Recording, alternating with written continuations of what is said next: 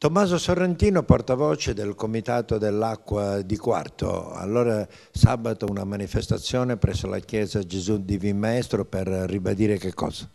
Sì, noi vogliamo approfittare di questo video annuncio per pubblicizzare questa iniziativa, quindi sarà un'assemblea aperta a tutti i cittadini dove spiegheremo le motivazioni del ricorso che è ancora in atto, quindi approfitteremo della presenza dell'avvocato Maurizio Montalto del coordinamento regionale acqua pubblica che ha curato e ha tutelato diciamo, il ricorso, quindi spiegheremo ai cittadini eh, quali sono state le motivazioni che ancora appunto eh, ci portano avanti con il ricorso. Intanto però il Comune va avanti con eh, delle gare di proseguo per eh, la, gestione della, de, della messa in opera dei contatori.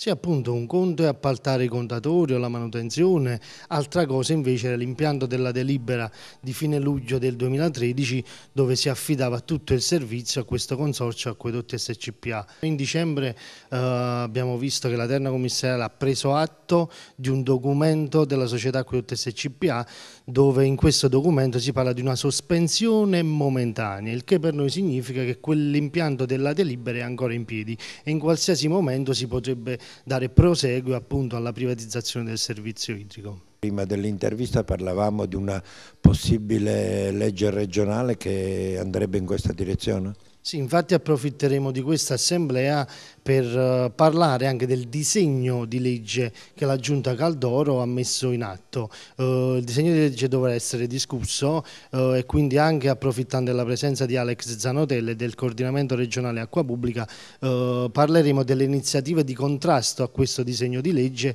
che prevede la privatizzazione del servizio idrico in Campania.